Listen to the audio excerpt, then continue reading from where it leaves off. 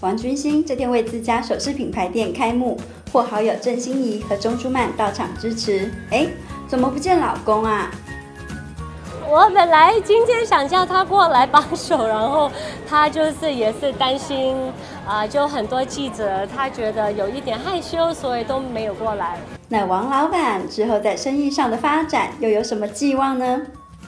我们打算这家之后呢，可能呃圣诞节，我们也会在铜锣湾可能开第二个 pop up shop 这样。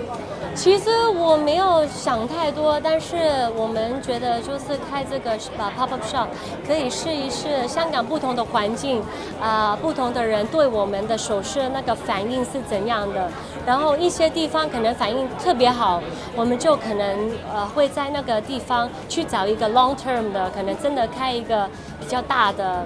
一个 flagship shop 这样的。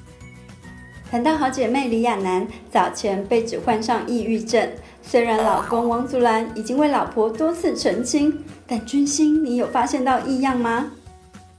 我们当然知道他是没有的，就是那个也是一些 rumor 来的。因为我们一直都有在呃呃我们的电话一些 group 里面呢，或者我们吃饭的时候，一直都有就是关心对方，跟大家聊一聊。就是我觉得他挺